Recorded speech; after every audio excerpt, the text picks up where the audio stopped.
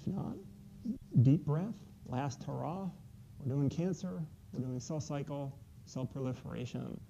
This is the final, the beginning of what will be the final lecture going in to uh, class tomorrow. We had a pre-lecture for today's class on mitosis and cytokinesis, the actual act of cell division. The main lecture is going to focus on the regulation of this uh, cell cycle progression, getting into mitosis, relating that to extracellular stimuli that are initiated with a family of receptors on the plasma membrane surface called tyrosine kinases. And all of this we're going to package in the setting of uh, cancer and specifically cervical cancer because we can tie it in very directly with some deregulation in the cell cycle machinery. Cancer is a big problem. A lot of people die from cancer. Costs a lot of money, and it will continue to increase. Uh, it has bypassed cardiovascular disease as the leading killer in the United States. And you see the total expenditures costs here. Now, most cancers do not arise from transmissible viral infections. We are going to talk about one of the outliers, one case of a cancer that is clearly promoted by a virus. And that virus is called human papillomavirus, or HPV for short. The HPV, HPV family um, has many different strains associated with it. Collectively, they are known to promote uh, different lesions, either benign lesions or malignant lesions on skin or epithelial surfaces. And we'll talk more about what benign and malignant mean uh, in a moment. We're talking about them today because of the connection between one strain or a couple of strains of HPV and cervical cancer. More to come on that.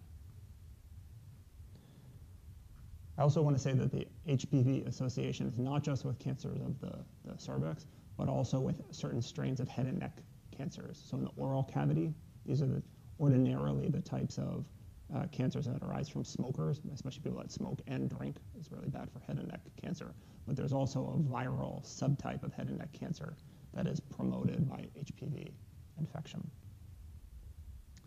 The benign lesions caused by some of the strains of HPV are epithelial skin hyperproliferations they're just not cancers, they're warts. On the skin, different places on, on the skin. These are not precursors to cancer, but they are an indication of deregulated cell cycle control and overproliferation of cells at the site where the infection occurred. If we talk about the prevalence of human papillomavirus infection, it's like freak you out high, okay? Very, very high. About 20, you see 25, 30% of women. You see when the prevalence peaks. Everybody is very active, okay? And so if you accumulate that over the lifetime, the incidence, the chances of people uh, getting an HPV infection is really, really high. And I talk about women. I pulled this paper out uh, for that oral HPV infection. The prevalence is higher for men than for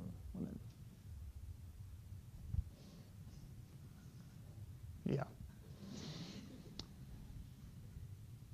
Now, the, the, final, final thing, if I can unfreak you out a little bit, is that the, the linkage between HPV and these different cancer types is not a direct one-to-one match. What is um, true is that cancers that arise from those different subtypes will be overrepresented with HPV infections. So it's sort of a necessary but not sufficient, especially for cervical cancer. And as I mentioned for head and neck, uh, this can occur by smoking and, and drinking. There are other paths to that cancer. So for cancer of the cervix, here are the incidences. It are, it's relatively rare, but again, for cervical cancer, it's almost completely preventable if one could avoid these HPV infections because it's almost a one-to-one -one mapping of the cancers that arise are associated with different strains of HPV. One of the reasons why the um, uh, Right, okay, so you see the statistics, the mortalities, if you're mapping this, is about, let's see, what is that?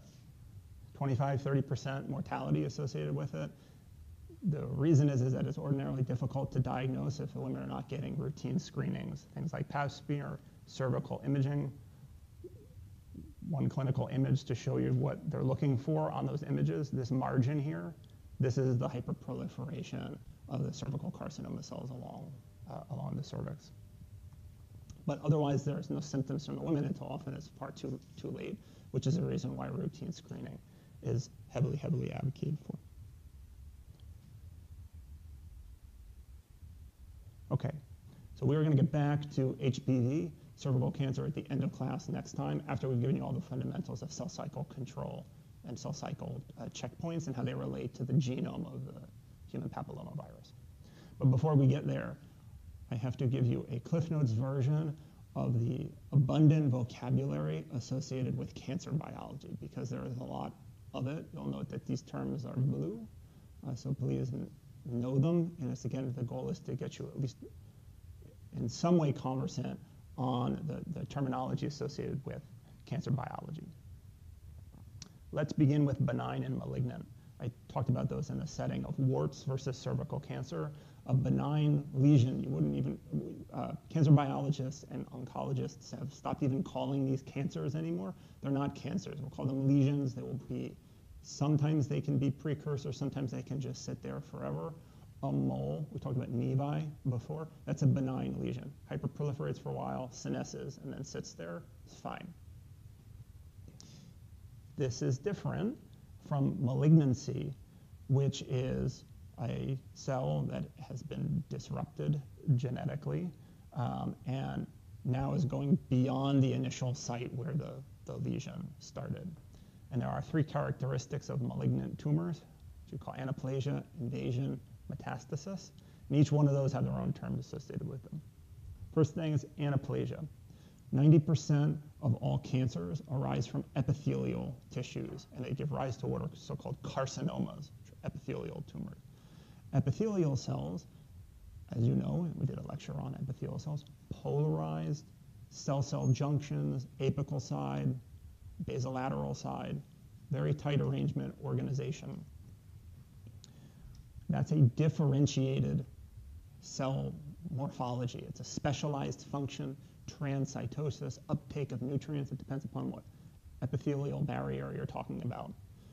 When epithelial cells lose those characteristics, cervical epithelial lose those characteristics, they lose the differentiation state that characterizes their normal, uh, normal properties and normal function.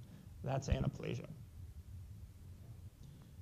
If the cells migrate away from the part of the tissue of the organ where they ordinarily reside.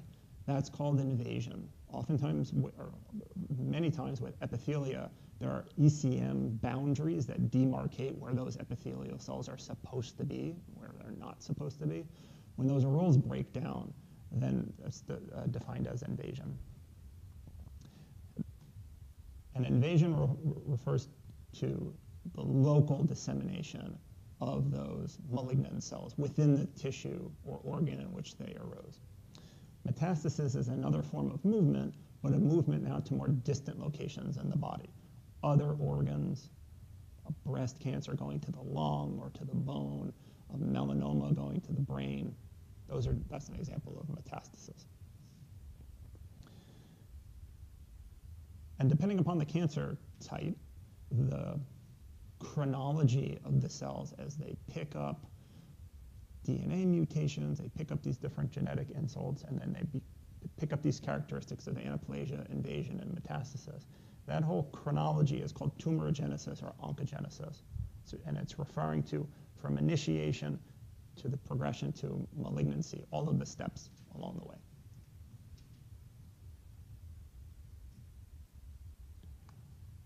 So let's show a before and after. This is not from the same patient, but I want to give you some context. And now you've seen cells before. Let's show some real, real cell images instead of cartoons. This is a cross-section of normal breast tissue. The normal breast is comprised of ducts and lobules, these grape-like clusters of epithelial cells where milk secretion occurs. Milk goes out the, through the ducts out, out the nipple. These are different lobules, those grape-like sacs here, the milk secreting units, and this is an example of a duct. Okay. The breast epithelium usually has two layers of epithelial cells. They're a little hard to see in this image, but the ones lit up in brown here, that's the, um, the first layer of epithelium, all next to one another, all along the sides of both the ducts and the lobules. Same stain. This is what breast cancer can, can look like abundant, this is no cells, this is ECM. Right, so this is just is, is, um, hypersecretion of different extracellular matrix uh, proteins. These are necrotic cells just floating around in the empty space. Here are the cancer cells. You'll notice that they have a much larger nucleus. Um, no organization. And here's an invasive finger. You can see the front here where the cells are coming out from the primary tumor and invading into the extracellular matrix out, outside.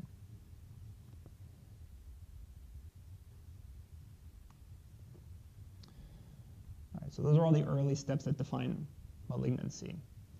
There are additional processes that become required for when a solid tumor grows beyond a certain size. Maybe you have or will learn this in physiology. Oxygen can't diffuse passively more than a millimeter. And so when you have a tumor that grows beyond a millimeter size, either it will start dying in the center, forming a necrotic core. Some of that might have been what was in that image uh, from before, because they got starved from oxygen, can't undergo aerobic respiration, all that stuff. Okay, they die. Unless they're able to mobilize new blood vessels to vascularize the tumor as it grows. And there are certain tumors that are very effective at doing it. This process of recruiting new blood vessels to promote the continued growth of a solid tumor um, is called angiogenesis.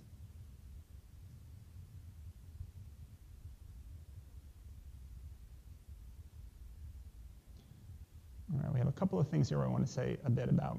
About oncogenesis and, and, and things. Um, oncotumorigenesis, those chronologies. Oncogenic or tumorigenic, adjective, simply meaning does it cause cancer. We have two or three categories of genes here to be aware of, and some of these bear directly on the opinion paper that you have this, this semester. All right, so oncogene is a little bit of a, all of these are somewhat fraught terms, I'll give you the most concise definition I'm satisfied with. An oncogene is any gene whose product of that gene causes cancer. What does that mean?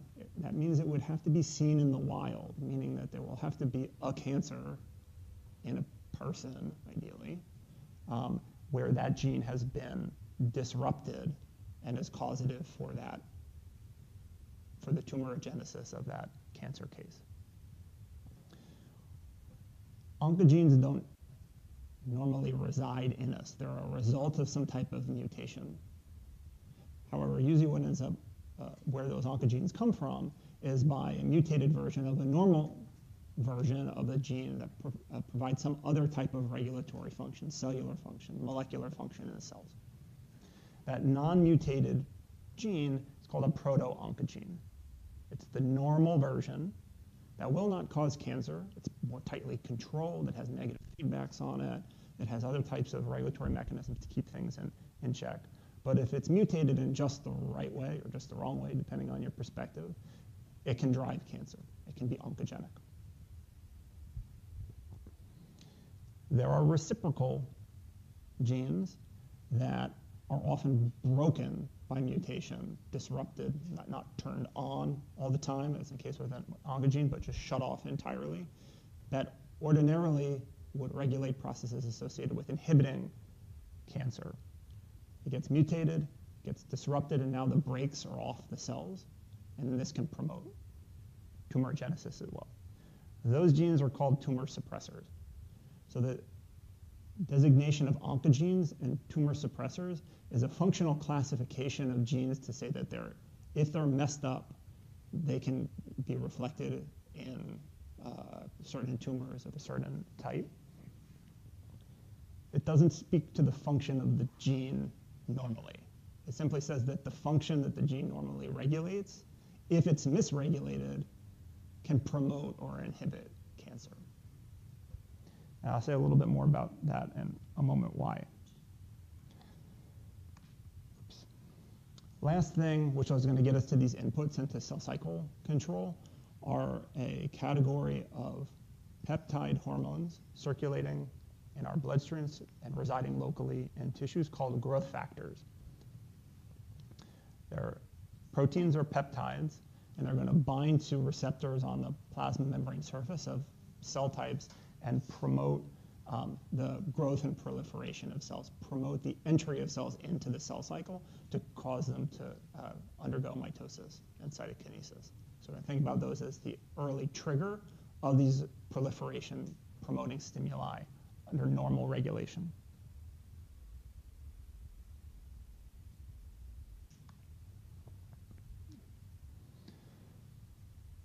Different human cancers have different ages of onset, and the incidence of each one of those cancer types depends uh, with, they will always increase as a function of age, but the rate at which they increase and the rate at which they become uh, de detectable as, as tumors depends wildly on the type of tissue or the type of tumor that we're talking about. A couple of examples are, are shown here. There are two take-homes from, uh, from this slide. One is that the slopes there, this is on a logarithmic plot on the left-hand side. So the line means exponential growth. So as time progresses, as random mutations accumulate in every one of our tissues and organs over time as a result of errors because of cell proliferation, DNA damage because of reactive oxygen species, environmental insults, other things like I talked about cause DNA damage. They, once they uh, accumulate in our body and then become into our, the genome of the cells that had those DNA uh, insults, they permanently reside in, in those cells. So this accumulates, accumulates, accumulates, and at some point, different cells in different tissues will have enough hits to their genome that cause enough genetic insults to give rise to, to cancer.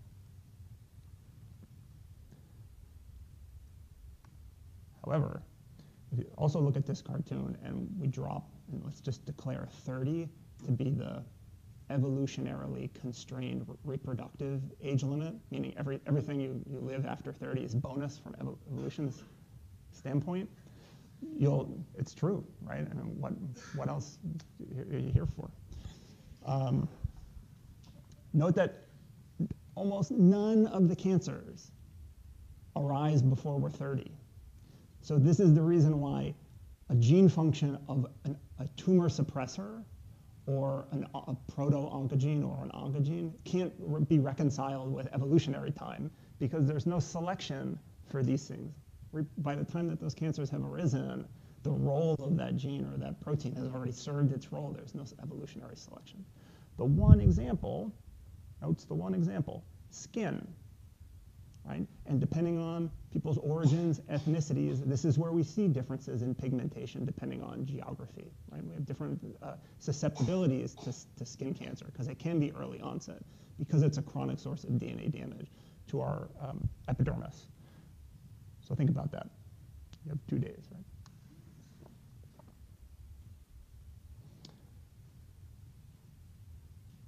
All right. All right, let, let, let me not have cause you despair. Many genes that have a tumor suppressive or a proto-oncogenic role are involved in cell cycle control, cell proliferation more generally. And so this is how they can have an associated tumor suppressive or proto-oncogenic oncogenic role. But really what they're doing in, this, in all of those decades before cancer build, builds up is some regulation mechanistically on control of the cell cycle. And many of the places where uh, different proteins, proto-oncogenes, tumor suppressors can Im impinge on the cell cycle are in pathways that you've already heard. Growth factors, I just introduced only in a namesake, more to come on that, along with their cognate receptors. Intracellular signal transduction. Recall that I was going to come back to the RAS MAP kinase pathway from before. This is a key proliferation and cell cycle regulatory pathway. It's right in the, in the intermediate of the signaling pathways that we're going to talk about. Why do they control cell cycle progression? The reason is that at, at the end of that, we have phosphorylation and activation of certain transcription factors that change genes that are involved in cell cycle progression. But they also can be involved in other types of pathways. For example, the prevention of apoptosis. So you can either proliferate a lot or you can stop dying. So there are certain examples where, uh, rather than uh, revving up proliferation, you're dampening down death. And the final place which ties on to both the control of the cell cycle as well as the notion of tumor suppression and oncogenesis is on uh, DNA repair proteins and the checkpoints in the cell cycle that they are able to activate if DNA damage occurs. So the gist of this is that if there are in certain stages of this, the cell cycle, if DNA damage by reactive oxygen species, by environmental insults, by stalled replication forks, all those things we talked about before, if that's not going well from the cell, the cell can stop replicating or stop progressing through the cell cycle to allow that damage to be repaired before progressing.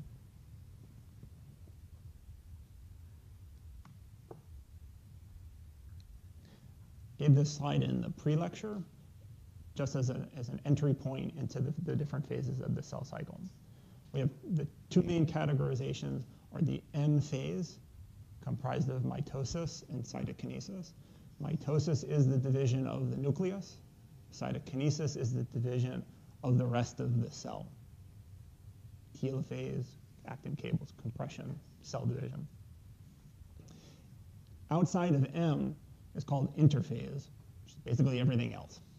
And interphase has a couple of different subheadings within it. So if a cell has just mitosed and cytokinesed, we have a new daughter cell here. To be able to go around the bend and divide once again, it needs to synthesize its DNA. So somewhere in the middle here, there's a synthesis phase, S phase, which is where DNA replication occurred, exactly in the way that we talked about when we did DNA replication. But flanking either side of S phase are two what they call gaps, which simply means they didn't know what was going on, so they called them gaps. First gap is G1 before S, and then the, the gap between S and uh, M is called G2. Things are happening, and we're going to talk about some of the things that are occurring during uh, those, those gap phases. This is also where several of these checks are um, put on the cell cycle to evaluate whether the cell is ready to move on to the next phase of the cell cycle. So they're critically important. Don't get the impression that nothing is happening during those gap phases. And then finally, there are certain examples, many in fact, where the cells are not chronically cycling. Where are the places where we have chronically cycling cells? Hair follicles, our gut epithelium, our hematopoietic system is turning over all the time we have certain cells in our body that divide a handful of times in our entire lifetime. What, what are they doing all during the rest? They're not in the cell cycle at all. They're in a phase which people will call colloquially as G0. This is a permanent gap. Goes into this cul-de-sac of the cell cycle, and they can hang out there forever. This is alternatively called quiescence, which simply refers to a resting state of the cells, non-cycling cells quiescence is different than one of the things that we talked about that I want to warn you about. It is not the same as senescence. You will call senescence too many divisions, telomere shortening, flattened out, fried egg appearance, and then no more growth, ever. Quiescence does have a degree of reversibility to it. Quiescence means I'm not proliferating now, but if I'm provided the right growth factors or proliferative stimuli in my environment, I may come out of that cul-de-sac and go back into the cell cycle and turn around again. So the quiescence is, is viewed as a reversible state. Senescence, classically irreversible.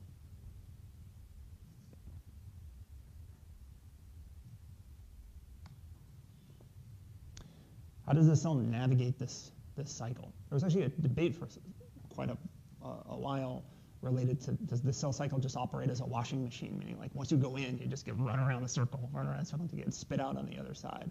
Or is there something else in, in between? Um, there, in other words, is there a precise order of things that has to occur for it to, uh, for, for the cell to proceed? And the answer turned out to be somewhere in between, meaning that there are certain phases where once you're committed to that phase, the cell's going to go all the way through that phase. But then at key points along the way, there are these things called checkpoints that allow the cell to stop, pause, evaluate things, and then determine readiness to be able to proceed to the next phase. And then once that decision has been made, it will run around until the next checkpoint. A couple of examples.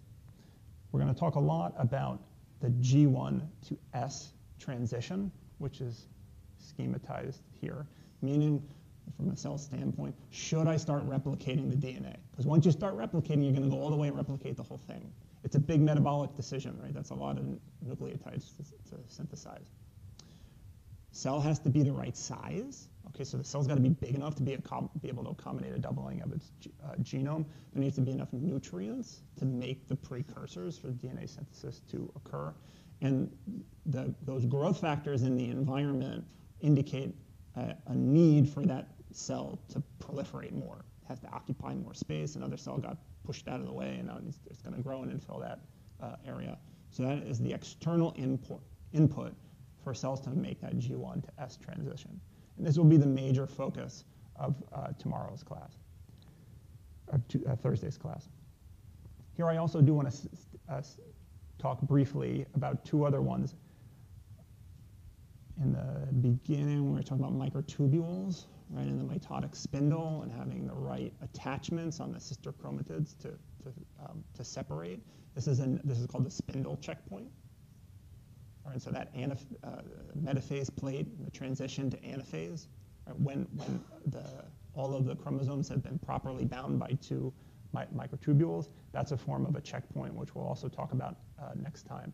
And then finally, um, at the transition from G2 into M, there's another size check, and also this is a prominent check to see how, if there was any DNA damage as a result of the cell going through that S phase. Stalled replication forks, other adducts, or things that need to be uh, repaired. So we will start here, and then we'll finish here next time. And then where blanks that we need to fill in in next class relate to connecting how growth factors protein hormones from outside the cell, when presented to a cell, get transduced intracellularly to give rise to the replication of DNA, the onset of S phase, and then ultimately to mitosis during M phase. We'll start with the growth factors and their receptors. We're going to describe growth factor receptor signaling in broad terms. The reason why is that many of those uh, broad themes recur irrespective of the growth factor receptor. However, as with many things in biology, there are subtle differences between different growth factor receptor families to be aware of. However, many growth factors have uh, receptors and a special category of receptors called receptor tyrosine kinases. These are transmembrane receptors that recognize the growth factor as a ligand outside the cells and they're called receptor tyrosine kinases because they have a tyrosine kinase domain and enzymatic activity on the cytoplasmic side of the RTK that is crucial for transmitting or transducing the signal from outside the cell to inside. I'll show this in cartoon form in a moment. After ligand binding to the RTK, there's transduction of the signal from the activated receptor tyrosine kinase uh, through a signaling pathway that involves that G protein RAS that I mentioned briefly a couple of lectures ago, and then a number of downstream effector pathways, of which one you'll hear about in greater detail today, that MAP kinase signaling pathway that I introduced briefly.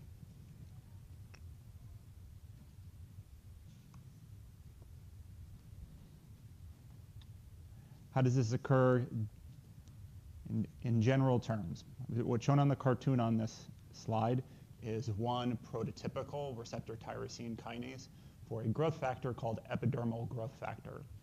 It was originally identified as a growth factor for the epidermis, but it's in fact a growth factor for a number of different epithelial tissues, and it's also a driving uh, proliferation signal that gets uh, aberrantly regulated during cancer, during tumorigenesis. The ligand for this receptor tyrosine kinase is called EGF. The receptor is called EGF receptor. It's a single pass transmembrane protein. You know now how those types of proteins are synthesized and trafficked to the plasma membrane to be expressed in this way. And on the cytosolic uh, side of this single pass transmembrane receptor, we have the tyrosine kinase domain, the enzymatic activity of the RTK, and then an extended cytoplasmic tail that within Uh, this tail are contained multiple tyrosine residues that will ultimately get activated and, or excuse me, phosphorylated by the activated receptor, the active enzymatic activity. This occurs through dimerization when EGF binds to EGF receptor. There's a conformational change on the extracellular side of the EGF receptor, causing these two receptors to come together as a dimer. When the dimerized receptors come into proximity with one another, there are now two inactive tyrosine kinase domains in close proximity. And what occurs is that having those two inactive tyrosine kinase domains close to one another enables one of the inactive kinases to activate allosterically the other tyrosine kinase. There's more to say about that, but I'll spare you all of the details. I covered it in my other class. Um, but as a result of that allosteric activation of the tyrosine kinase, you now have an active kinase in close proximity to those tyrosine residues on this, the, the tail of the receptor, broad phosphorylation of those tyrosines, causing them to uh, become phosphotyrosines.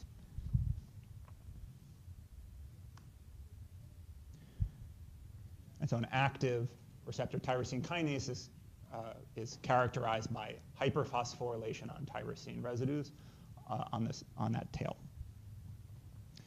Once the RTK becomes activated, we now need to connect that hyperphosphorylated receptor to these downstream effector pathways, namely the monomeric G protein RAS. This is a slide I showed in a simpler form before. We had whole lectures dedicated to G protein coupled receptors, heterotrimeric G proteins. The monomeric G proteins are in the same category. They bind to GTP. They can hydrolyze that GTP into GDP, but their, uh, their mechanisms of regulation are uh, different in subtle yet important ways. Here is the monomeric G protein cycle. The, the one recurring theme, if you will, for these monomeric G proteins is they're uh, somewhat wimpier in all respects uh, compared to the heterotrimeric G proteins. And what I mean by wimpier is that they need assistance of other interacting proteins to facilitate both the nucleotide exchange as well as the GTPase activity to hydrolyze GTP and turn it into GDP. We'll start this slide over on the left-hand side of inactive RAS bound to GDP. What occurs for this, uh, what needs to take place for this exchange to occur is that inactive RAS must interact with another class of proteins called GEFs, guanine exchange factors, that facilitate the uh, removal of GDP and the binding of GTP to convert RAS into its active state. You'll see an example of a GEF in a moment. GTP-loaded RAS is the conformationally active signaling form of the monomeric G protein that can transmit that activity to downstream effector pathways. It gets shut off eventually under normal regulation through another category of proteins called GAPs, which stands for GTPase activating proteins. A RAS gap binds to GTP-loaded RAS and potentiates its GTPase activity to enable that GTP to become deactivated, go to GDP, and then you're back at the other end of the cycle. So the transitions from RAS GDP to RAS GTP and back involve these GEFs and gaps to facilitate the process.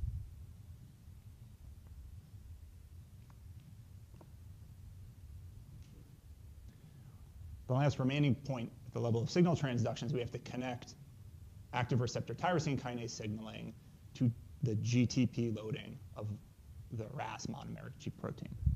Here's how it occurs. And here's an example of how it occurs. There are other variations similar to this that will turn on the RAS MAP kinase pathway. If we start with growth factor on the outside of the cell, single pass transmembrane receptor, the receptor tyrosine kinase, ligand binding to the receptors, receptor dimerization, allosteric activation of the receptor tyrosine kinases on the cytoplasmic face, tyrosine phosphorylation of the tails of the receptors. Now what happens? What occurs is that there are specialized uh, domains in multiple proteins that uh, we all express that specifically recognize phosphotyrosine. And one of these uh, domains that recognizes phosphotyrosine specifically is called an SH2 domain. And what is SH2 domain? SH2 domain stands for Src homology 2. That just moves the questions on what the hell does Src stand for. Src is an oncogene. And the name Src comes from what it was originally uh, associated. It's a viral oncogene that caused sarcomas in birds. They cloned the gene out, and then they found that there was a cellular product, and they found that the cellular product had these certain domains associated with it. And those domains are broadly expressed in a variety of different proteins, normal proteins uh, in our bodies. This specific SH2 domaining, uh, SH2 domain containing protein is an adapter protein. You'll, we've talked about adapters before. You'll see why it's an adapter uh, in a moment. In a moment, and it uh, binds two phosphotyrosines. It has two, two SH2 domains to be able to recognize the receptor. It's called Grb2 for the reason it grabs two phosphotyrosines on the cytoplasmic face. And Grb2 acts as an adapter because it has a recognition domain for these phosphotyrosines, the SH2s, but in addition, another portion of this protein recruits a GEF to the active receptor, to the plasma membrane, where, recall, farnesylated RAF, uh, RAS is tethered to the plasma membrane. Once you have that guanine exchange factor recruited to the plasma membrane, in very short order, you'll have exchange of GDP for GTP on RAS, followed by activation of RAS to be able to turn on the downstream effector pathways.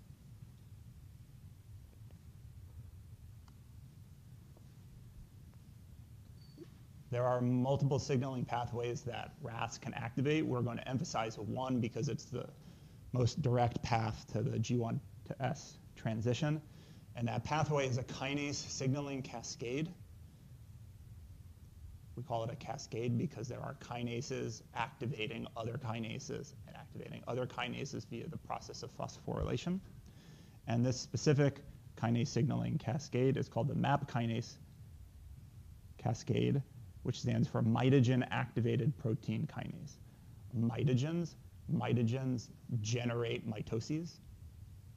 All right, so a proliferation-inducing pathway and um, growth factors generally are often called mitogens for the same reasons.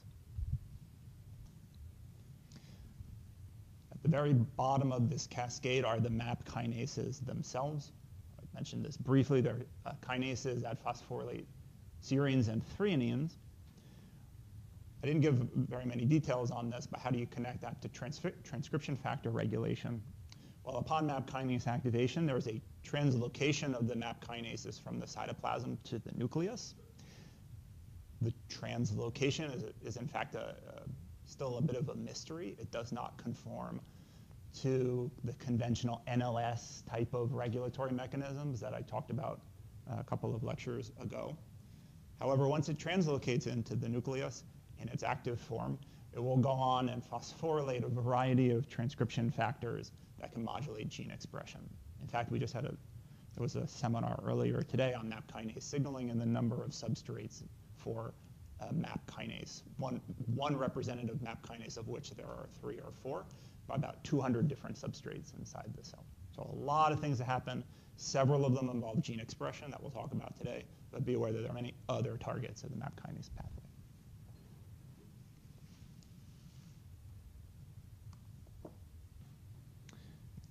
There were some questions the first time I showed this slide of why there appears to be this pyramid scheme from RAS to the MAP3K to the MAP2K. Um, and the motivation for it is to emphasize that as a result of the cascading of signals that occurs through this pathway, where a, one GTP loaded RAS is able to activate allosterically multiple MAP kinase, kinase, kinases, MAP3Ks, this one being RAF. And that active MAP kinase, kinase, kinase can then phosphorylate multiple MAP kinase, kinases, two kinases. And those then can go on and activate multiple MAP kinases. A very small change in signaling at the level of RAS can give rise to a very dramatic difference in activation down at the level of the MAP, MAP kinases.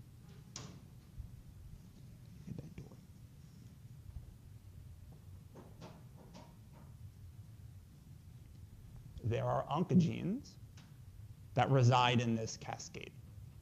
RAS, if it's mutated, if its GTPase activity is completely broken, or its GEF binding ability is enhanced, it can become chronically GTP loaded. And these are the types of things that happen in pancreas cancer, colon cancer, uh, lung, lung cancer. Those are major places where you'll see RAS mutations. Going one step down, you can also get mutations in RAF. There's a point substitution that occurs in 15 to 20% of melanomas that renders RAF protein kinase activity always on, doesn't need RAS anymore, uh, and it's a driver mutation causal for melanoma genesis. And in fact, there are drugs, entire companies based on targeting the mutated form of RAF for melanoma therapy.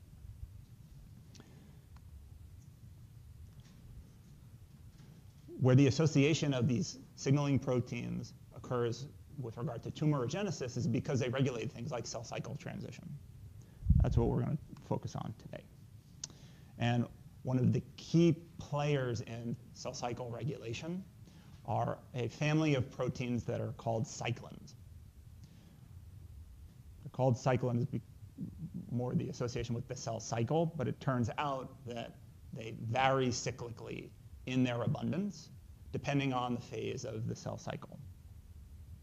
And that variation in abundance occurs as a rise for a period of time and then a fall. Some of them can rise very abruptly and fall very abruptly, depending upon which cyclin we're talking about. Cyclins themselves don't have any enzymatic activity. They alone are unable to signal in any way, but their key partner Uh, in cell cycle regulation is a family of protein kinases, also serine threonine kinases called cyclin-dependent kinases, or CDKs. So cyclins pair with CDKs, and together those cyclin-CDK pairs give rise to an active kinase that can go on and phosphorylate a variety of substrates. You'll hear several today. This cartoon schematizes the rise and fall of several key cyclins in canonical cell cycle regulation. To orient you on this display, the crescents or boomerangs or whatever you want to call them around on the outside, those give rough indications of the abundance of the cyclin CDK complex that increases as a function of the phase of the cell cycle. The first point uh, that we're going to focus on is that G1 to S transition. And we're going to talk uh, at length at the complex of cyclin D and CDK4-6. After that, we'll talk about the cyclin B CDK1 complex and the variety of things that it does during uh, the, the G2 to M transition and execution of mitosis.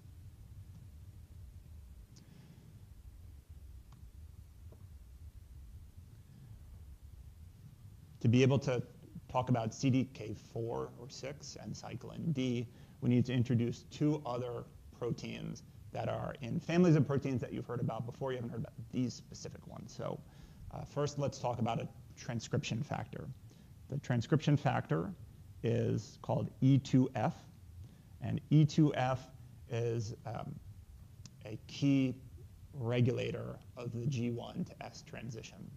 And the reason why is because the genes that are transcriptional targets of active E2F include things such as polymerase alpha, polymerase delta, several of the CDK cyclin complexes that occur later during S phase. And that E2F is setting the stage for the next uh, phase of the cell cycle, which is S phase, be able to do DNA replication. In quiescent cells, though, E2F is, is around, but it's constitutively bound to a protein called RB. RB binds to and inhibits the transcriptional activity, the ability to recruit pre-initiation complex, all those things you've heard about before, um, that are mediated by E2F. RB. RB stands for retinoblastoma. And the reason why it's called retinoblastoma is because RB is a bona fide tumor suppressor. If RB is broken, and in fact, in just the wrong way, if RB is broken, it is sufficient to give rise to retinal tumors, eye tumors in, in, in children. And it relates to the cell cycle regulation that we're talking about now. In quiescent cells, RB is there. If it's normal, wild type, it's bound to E2F and the RBE2F complex is inactive. It sits, it may be on the genes, but it's not recruiting any of the pre-initiation complex to drive transcription. But what occurs during growth factor signaling? Growth factor activates its cognate receptor tyrosine kinase.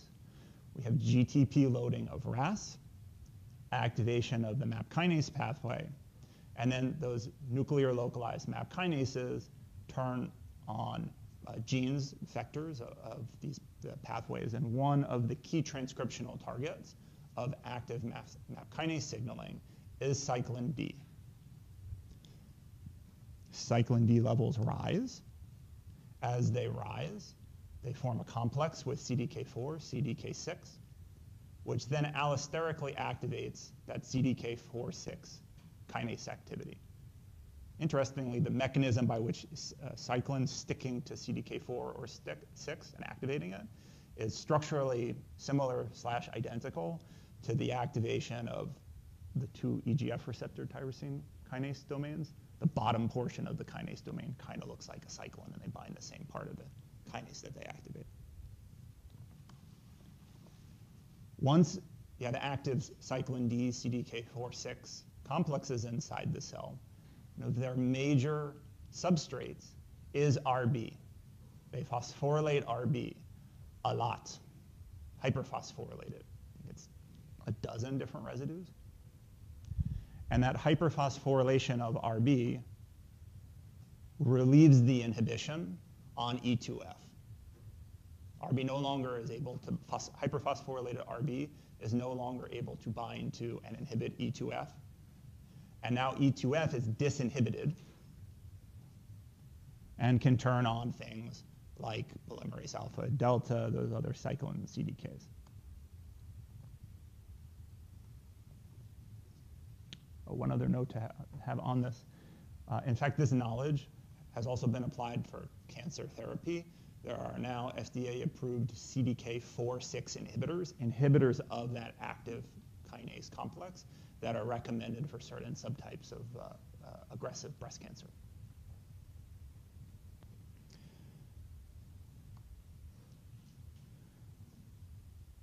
So here's that same slide from before, filled in with the details. We have growth factor upregulating the abundance of cyclin D, and that increased abundance of cyclin D activating CDKs, hyperphosphorylating RB, disinhibiting E2F, and transcribing genes RNA, giving rise to protein that are necessary for S phase. That's described as the upswing of cyclins. They can be transcriptionally upregulated, their abundance can increase. How do they, where, where does the other half of that crescent come from? And this occurs via a, a category of post-translational regulation in cells that we haven't touched on, saved the best for last, uh, called ubiquitination or ubiquitination, um, and also polyubiquitination. A lot of words there. What is ubiquitin? Ubiquitin, is called ubiquitin because it's everywhere. There's a lot of it. It's very abundant in cells. It's a protein, small protein. You see the molecular weight there. You see the ribbon diagram on the left-hand side. If you remember that quiz question way back in the beginning, like how many tertiary structures are in this, it was ubiquitin, because I had it in my slide deck. This little protein that's here, there, and everywhere inside the cell is a crucial post-translational modification on proteins. This, the, the whole protein can be conjugated to other proteins by a family of enzymes called ubiquitin ligases. Ligase join together, where they're joining together the protein and a ubiquitin group. Those proteins are linked by lysine residues. So ubiquitination occurs on lysines. Ubiquitin itself has multiple lysines. And the nature of the linkage can give rise to not just one ubiquitin, but there's other lysines on ubiquitin, put another ubiquitin on there, another ubiquitin, another ubiquitin, another ubiquitin.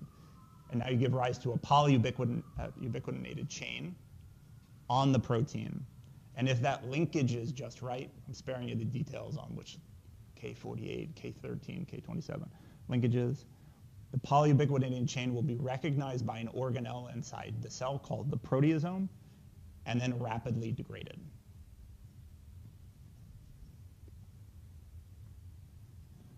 I'm going to try to time this here. We have a little movie for a polyubiquitinated protein and its degradation by the proteasome. I'm going to time this right. Yep. Okay. Proteasome is on the left-hand side. It's a big garbage can with a lid. You'll see the lid open in a moment. And that is also sort of like a paper shredder too, because everything that goes in, what comes out on the back end is totally uh, shred to pieces. This, in the yellow here, that's the protein that has been polyubiquitinated. And then this purple here is the polyubiquitin chain. When I play the movie, you're going to see the lid open up and it will get fed in. It's recognizing the polyubiquitin. The polyubiquitin. The proteasome itself has deubiquitinating activity. And what it will do, it will take off the ubiquitin chains and not run them through the paper shredder because it takes a lot of energy to make the ubiquitin. So if you can double use them again, that would be energetically favorable. But the rest of the protein that's targeted for degradation will go in and then get proteolytically hydrolyzed into its basic amino acids uh, constituents.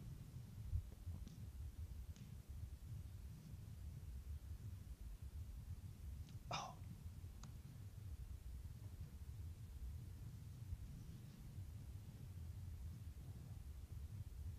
There's the recognition.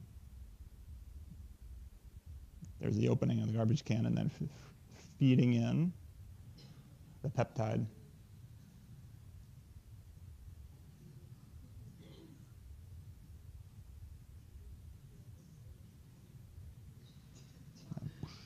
the backside. And you see the purple tails on the end there still persist. Those will be reused and they can be used for other ubiquitin processes. This can occur very rapidly. Within minutes, you can have a turnover, rapid turnover of, of proteins. And in fact, we'll hear multiple ubiquitin regulated pathways uh, today. Ubiquitins, they're critically on cyclin CDK regulation. There are many families of ubiquitin ligases that themselves are post-translationally regulated by cyclin CDK complexes. And so how might this work in general terms? Cyclin is upregulated. It activates a CDK. That active cyclin CDK phosphorylates a ubiquitin ligase that is ordinarily inactive, but by virtue of it being post-translationally modified, activates its ubiquitin ligase activity. And it then conjugates ubiqu polyubiquinates the cyclin, causing it to get degraded by the proteasome. There are many examples of this in cyclin CDK regulation. They're layered on top of one another, feedbacks, positive and negative. And so it's a very um, important and complex regulatory circuit within the cell cycle machinery um, that is crucial for the characteristics of cell cycle progression, the cycling, the notion of checkpoints, the decisiveness of several of these uh, transitions. And in fact, for those that are interested in systems biology or things that affect a number of models, quite nice models on different facets of cell cycle regulation.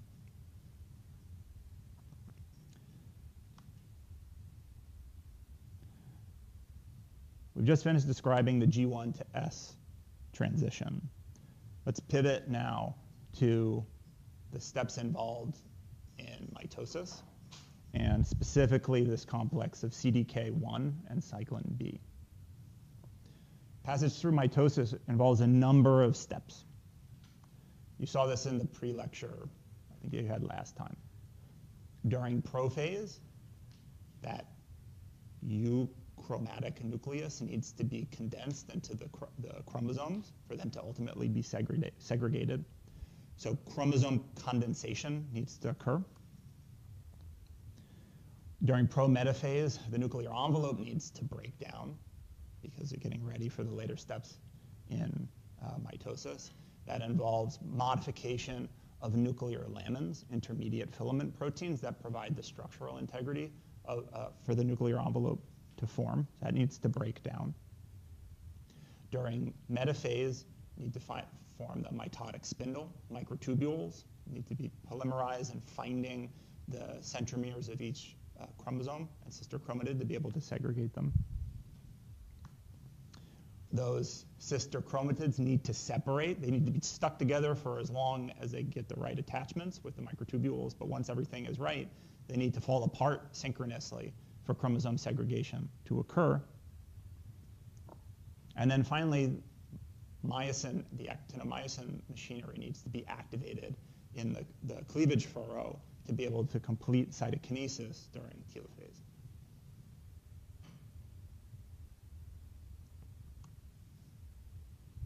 All of that is regulated either di directly or one or two steps removed by CDK1, cyclin B. CDK1, cyclin-dependent kinase 1, and this family of cyclin, uh, cyclin B. CDK1, the kinase, is uh, its abundance is not regulated in a cell cycle dependent manner. It's always there. Where the regulation occurs is at the abundance of cyclin B that allosterically activates CDK1. It varies, and it varies very acutely during mitosis.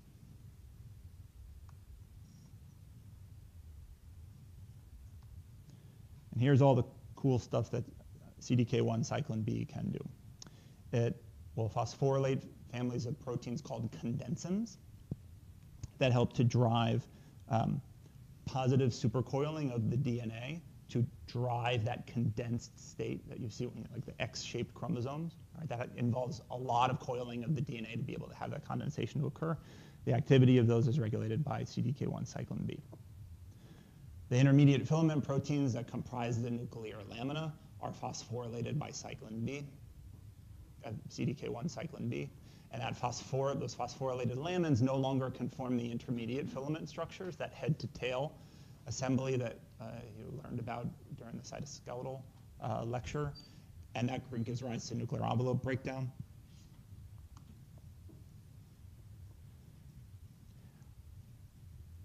The ability for the mitotic spindle to form is dependent upon the nuclear envelope breakdown. So when the nuclear envelope breaks down, recall that RAN GTP gradient, the importins and exportins. There's no more a barrier. The NPC is gone, things. And it's that um, disruption of any gradient between the nucleus and the cytoplasm that creates the driving force for the mitotic spindle to occur. And in fact, several of those regulators play a role in nucleating the uh, mitotic spindle. And in addition, when we're talking about the cohesion of the sister chromatids during, during metaphase, those uh, sister chromatids are kept in check of, of, one another, kept stuck with one another via a phosphorylation catalyzed by CDK1 cyclin B. There's a protein called uh, securin that is modified and helps maintain those sister chromatids together um, at the centromere.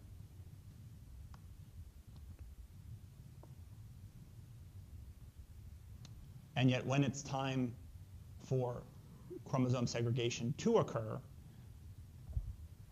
CDK1 cyclin B will activate a ubiquitin ligase called the anaphase promoting complex, or APC, that will drive the turnover of proteins, including several of the ones that are involved in the chromosome, uh, chromosome segregation, to drive anaphase, that's the name APC, and complete the uh, turnover of proteins such as cyclin B to complete mitosis.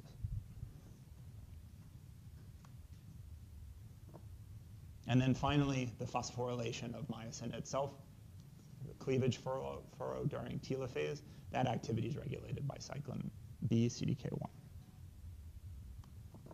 That's a lot. Let's try to put this together in a, in a cartoon here. As cyclin B levels rise during mitosis, you get activation of CDK1, phosphorylation of the, the lamins, giving rise to nuclear envelope breakdown. Here, the sister chromatids are held together by a complex that involves this protein called securin. It's not shown on this cartoon, but it's kept secure by CDK1 cyclin B activity until it's no longer phosphorylated, and then it gets ubiquitinated and degraded. Degradation then is the driving force for sister chromatid separation during anaphase and then very rapidly, you're having the act, you have the maintained activity of cyclin B CDK1 to activate myosins, the actin cables, and cytokinesis. But then as the last step to close out mitosis and cytokinesis, cyclin B is rapidly degraded via ubiquitination, catalyzed by APC. Not all the arrows went away, but now you're back to homeostasis. Right, now completed the cycle. Now the arrows went away. Exit from mitosis.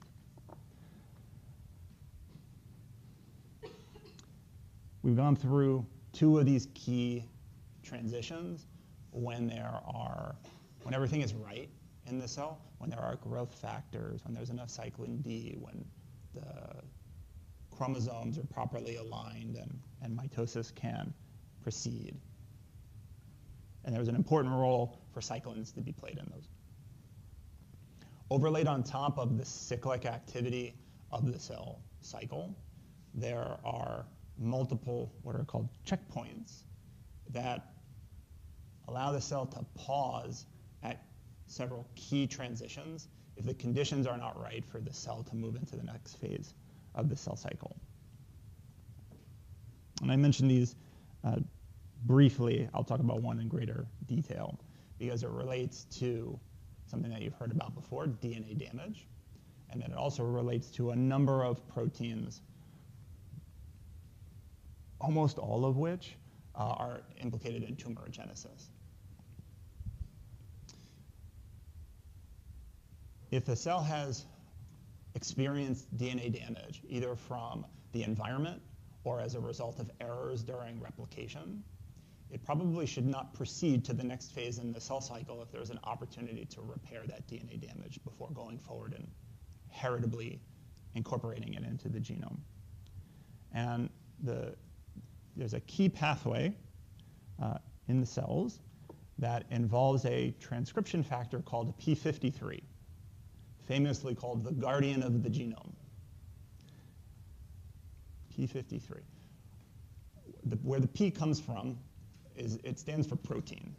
And so 53 means it is a molecular weight of 53 kilodaltons. And so when no one knows what to call it, they just call it P and then whatever the molecular weight is on a um, polyacrylamide gel immunoblot, things you'd heard from before.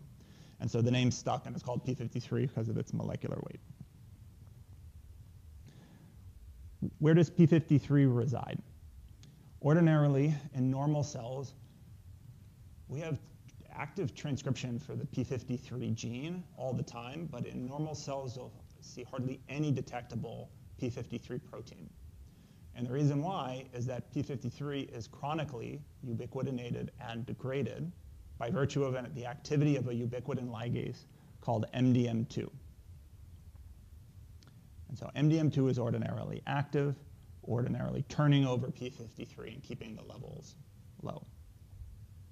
Unless there's DNA damage, double strand breaks, chemotherapy, ionize, ionizing radiation, all these pathways will turn on a kinase called ATM. If I, it, stands for a hereditary cancer predisposing disorder that I won't even try to uh, pronounce because I'll mangle it even though I try to say it. ATM. And ATM becomes activated in the presence of DNA damage and other DNA damaging stresses. Once this kinase becomes activated, it can phosphorylate P53. It can also activate another tumor suppressor called CHEK2, checkpoint kinase 2, that also can help with the phosphorylation of P53. And when P53 gets phosphorylated, it's no longer recognized and ubiquitinated and turned over as efficiently by MDM2 as when it's not phosphorylated. This gives rise to stabilization of P53 in cells. The levels go up. When the abundance of P53 goes up, now it can serve its biological function. I already said those things, which is to act as a transcription factor. And the genes that it transcribes, there are many.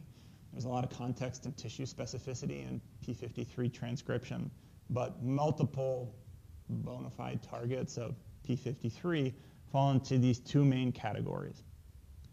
The first one will be as if there's a short-ish stabilization of P53.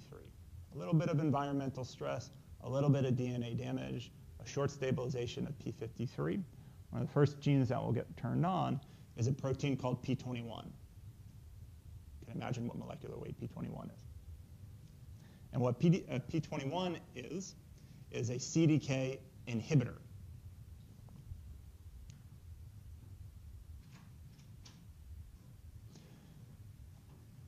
It inhibits CDK activity by forming a ternary complex with the cyclin and the CDK. So I said before, CDKs are inactive unless they have their cyclins. You put a cyclin in there, and now that CDK will become active. If you put a CDK inhibitor onto the active cyclin CDK complex, now the CDK is inhibited again. And P21 is a potent inhibitor of CDK4-6 activity, causing the cells to arrest in G1. No phosphorylation of RB, no cell cycle progression. The cells chill out for a while and wait for the damage to be repaired. If the damage gets repaired, there's no longer ATM signaling, there's no longer active check 2, there's no longer phosphorylation of P53. P53 gets turned over, ubiquitinated and degraded, and then the transcription factor activity goes away. P21 will eventually turn over, and then the cell can progress through the cell cycle. Unless the damage is really bad. If the damage is really bad and so extensive, then the ATM check 2 activity is sustained. P53 transcriptional activity is sustained as it's in the nucleus longer it has opportunity to find other loci in the genome and turn on, let's call them less potent transcriptional targets of P53. And many of those targets drive programmed cell death, apoptosis. Decision being here, well, better to sacrifice this cell because it's broken goods now at this point. The damage is so bad.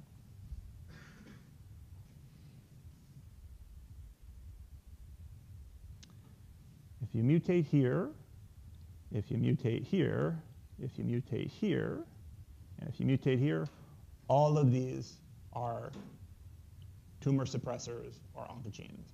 and are associated with different forms of the disease. So really important for cancer. Why? We talk about lots of pathways that could be important. The statistics on this change, but uh, about 50% of all cancers have mutated P53, or some mutation in the pathway that has inactivated the P53 uh, guardian of the genome function that I talked about before. It's really potent and really recurrent because it's the brakes on all other forms of DNA damage that could give rise to more mutation. So once P53 becomes inactivated, the guardian of the genome function has been relieved, and now it's that much easier for these premalignant cells to pick up additional mutations and go forward in tumorigenesis. And then the additional reason why you see this pathway disrupted so frequently in cancers is because it's really easy to break P53. It's a tetrameric transcription factor. So you have four P53s are required to form the transcription factor activity of, uh, the, of the protein. And you can break the, the tetramerization domain, you can break the DNA binding domain. If you just break one of the four subunits, the whole complex is poisoned. And so one mutation will give rise to a so-called dominant negative activity that will disrupt all of the P53 function in cells. Thus, it's the combination of very breakable and very potent when it's broken that the thinking is why it recurs so frequently in um, tumorigenesis.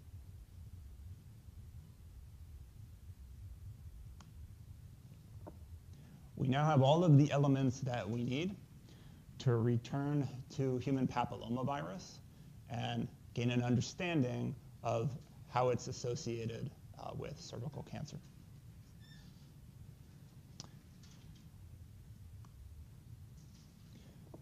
A few more details on the virology of HPV.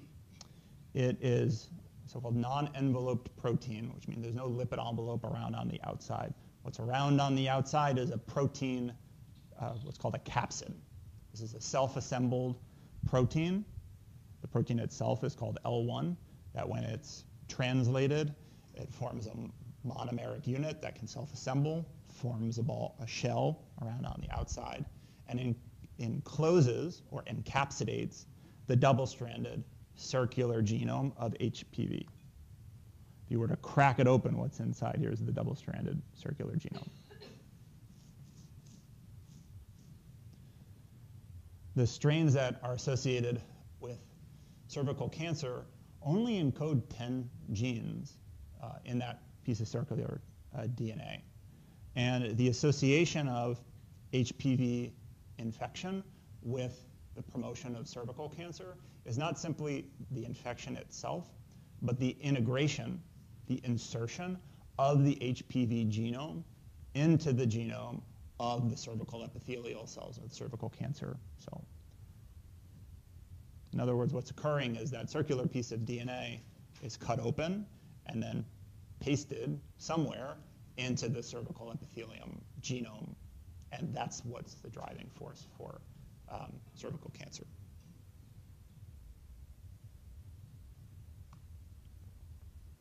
Okay, this is the class participation time. So yes, good, heads up, that's right. If you're, if you're snoozing, wake up. All the rest of the class is interesting. These are the 10 genes of HPV. And I think you're in the position, if you've recalled things beyond like what I told you in the last five minutes, right, be able to attribute a function for each one of these uh, gene products to either the process of infection or to the promotion of uh, cervical cancer. And so we can go from top to bottom. E1. E1 is a viral helicase. What do you think it might do?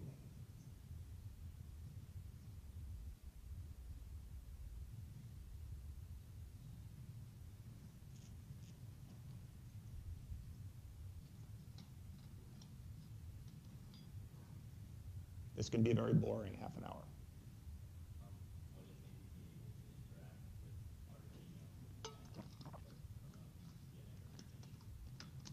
Okay, so I, I heard genome interactions, um, and then the, the, then there was the last thing you said, which I, I heard it and I've forgotten it already.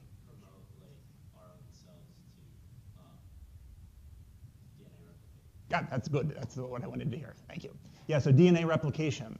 And in fact, the interaction with the human genome is not required for this, is not absolutely cru- crucial for the helicase function. Where the helicase function comes in, it is crucial for DNA replication, its own DNA replication. So this is a double-stranded DNA genome. It needs to replicate. It has its own supercoiling issues that need to get uh, resolved when it replicates. The other thing that I forgot to say is that the order of these genes are in the order in which they're transcribed and translated. So why not also have the helicase get the whole process started to be able to start being able to replicate the DNA? So you're absolutely right. Okay. E E2. Mm-hmm.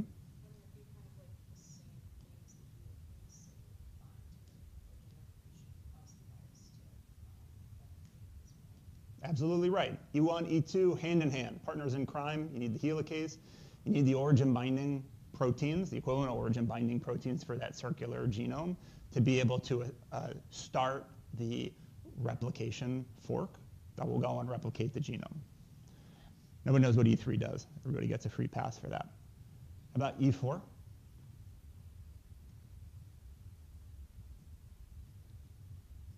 This one's harder.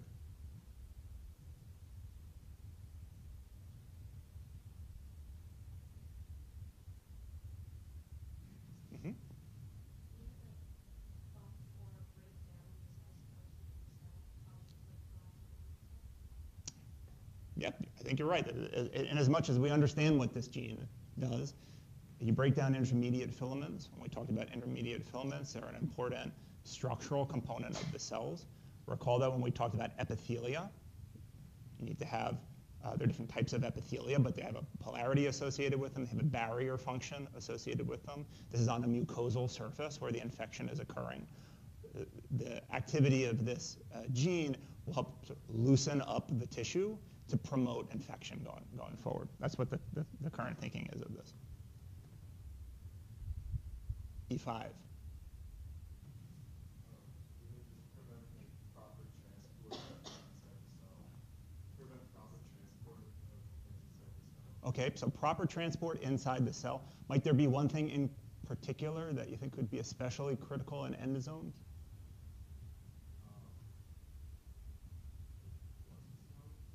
Well, the, what needs to get out of endosomes is trying to avoid getting into the lysosome. Ideas?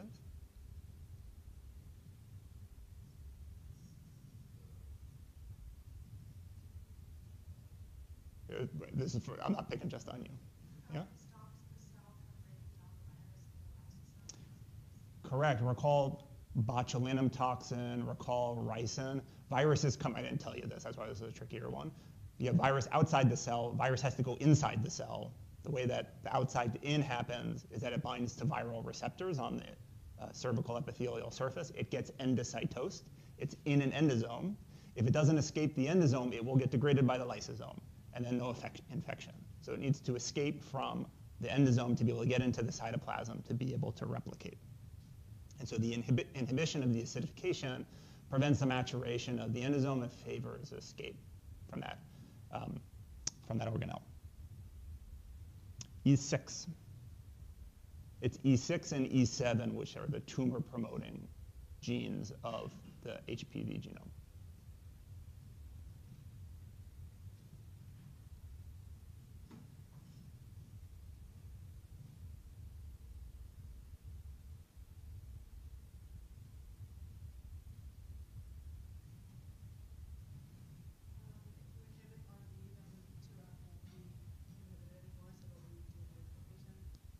Yeah. So if you have RB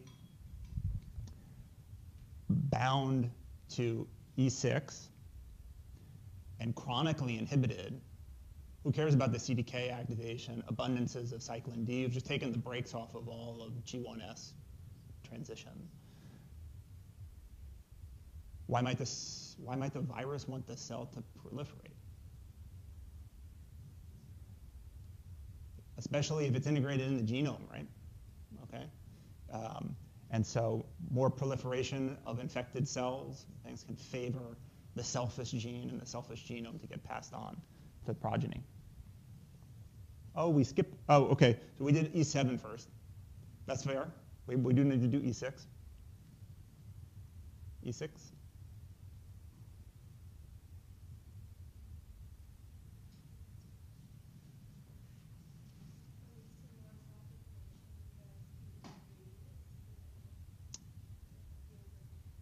Okay, so there's an element of continued proliferation. And the follow-on question is, is, but where is the stress coming from? If, I said in normal cells, you don't have p53 levels are low, why should you have favored the degradation? Why would the degradation be necessary, you think?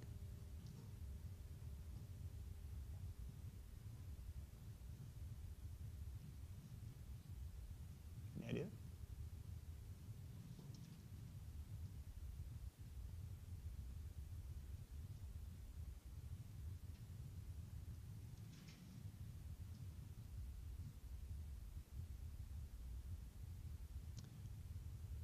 Mm-hmm.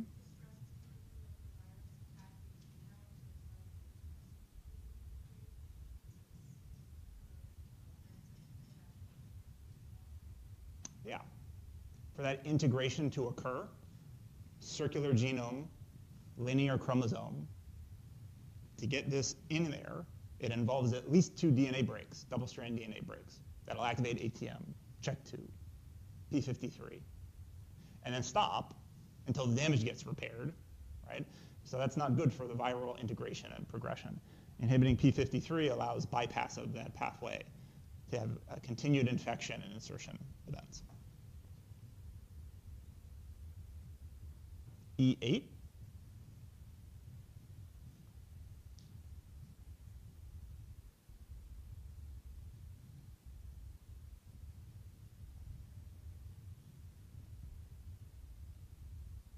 This harkens back to transcriptional regulation. We saw some themes then.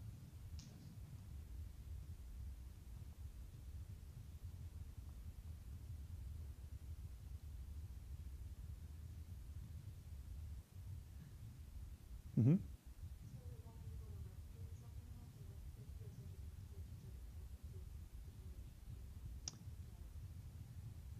Yeah, I think you have the broad themes of that. If the genome is actively replicating, it can't be inserting, and it certainly can't be encapsulating, and it this can also release additional infectious virions as well.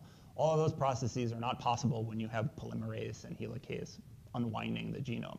Those eventually need to get shut off. End product repression, right, these types of things. So there's enough of that, and then it goes, shuts it down so that the next phase of viral pathogenesis can occur. E stands for early, L stands for late, and these are the final steps in viral pathogenesis. Need, one needs to um, get that replicated viral genome into the capsid, aided possibly by uh, L2, and you also make, need to make the capsid itself, and that's what the L1 protein is. So translated, transcribed, translated, self-assembled, out goes the virus. Outstanding, very good. We have a number of cancer researchers in BME. We have a number of cancer researchers at the university at large. We have a NCI-sponsored cancer research center. Kristen Naglia is our latest hire, entirely dedicated on tyrosine phosphorylation. Once you get her started, she's really excited about tyrosine phosphorylation. Kim is our uh, cancer therapeutics uh, faculty member, largely focused on pancreatic cancer, and my lab works on breast cancer. And we're keeping right on time. I got 15 minutes for closing remarks. Um, first, and I need to do this in order because if I mess it up, it doesn't land as well. Acknowledge TAs first. All right, so Paige is here today. Josh On's here on the off days. You know the way that they helped. Extra office hours, they're going to help while I'm uh, traveling uh, right before the exam. You get your quiz scores posted in gradebook fast. We try to turn around the peer reviews and things promptly. Uh, that's, that's me maybe cracking the whip, but me not definitely not me doing it. That's these guys getting the things finished. And so for that, I'm very uh, appreciative. Can we give Paige and then Josh on his absence? Round of applause. You can tell who went to a bookstore today, as I. It's been a little busy. And I have one for Josh too. I got next time I see him. And then I want to give a, reference to the pre-reading. That was a fun read. I'm not going to quiz you on this, but I give it to you uh, as a commentary, food for thought, something to uh, chew on and reflect on why we ran this class the way that we did. There are so many things that are searchable on your computer, but if you're relying entirely on that access to have to punch in and be able to uh, get the information that you need, you can't have a meaningful conversation with anyone. And what we try to do in this class is provide you with the, at least the fundamentals, at least the groundwork, such that you can have a competent conversation with a molecular and cellular biologist. And the only way that that can occur is if you have this muscle memory for these terms, for the vocabulary, for the precision in the language to know what activate, inhibit, disinhibit, I can keep going on, right? All those blue terms, it wasn't to torture you, it was to emphasize that words have meaning, and the only way that you can have those words have the meaning that they, that they convey is to make sure that you have mastery over them up here, not over here.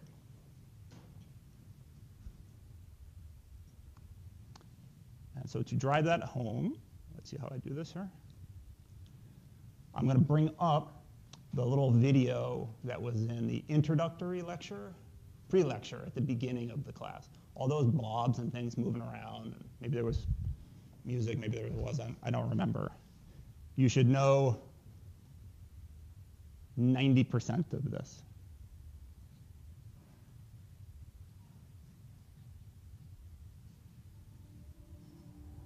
It's better with the sound, so I'll turn it up a little bit. Okay. This is a leukocyte rolling, monocytes in the circulation, interacting with catch bonds, selectins, things like that. I think you did that in quarter two. Lipid rafts.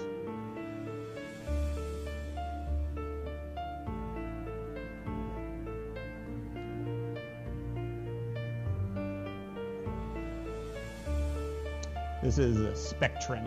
I didn't get a chance to cover that. It gives membrane some structural integrity.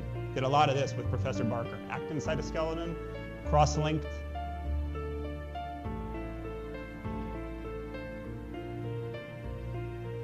Nucleating actin filaments, microfilaments.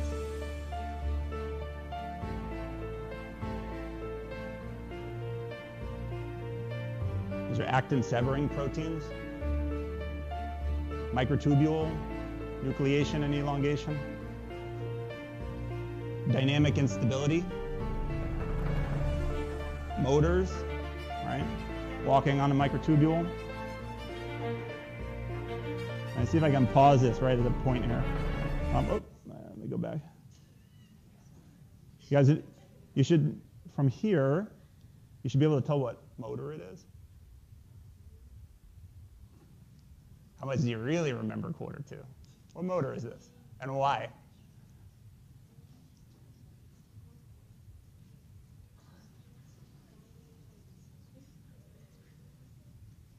Okay, I hear, I hear one on the right track. It's either uh, dynein or kinesin, because I know it walks on microtubules.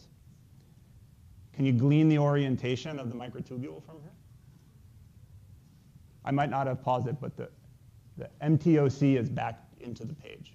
So they're radiating outward.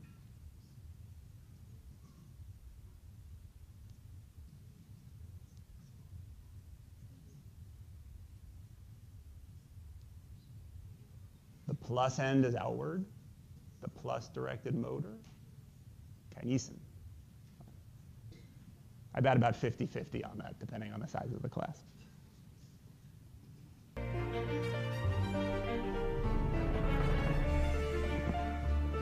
Oh, maybe that was the better view. There's the microtubule organizing center.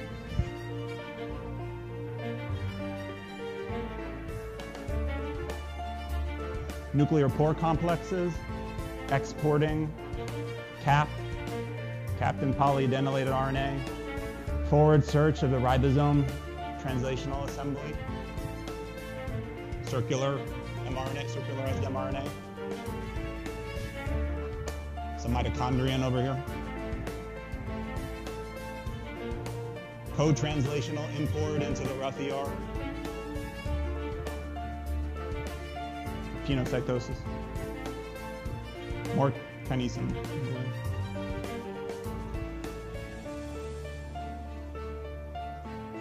These are the, the Golgi stacks, Golgi apparatus.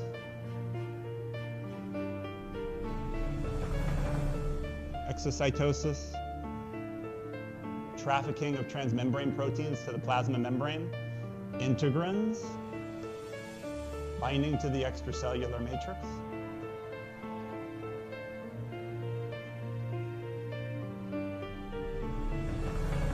RGD, all that stuff. The leukocyte stops rolling, turns on ECM, proteolytic activity, sneaks into a couple, between a couple of endothelial cells, go fighting infection somewhere.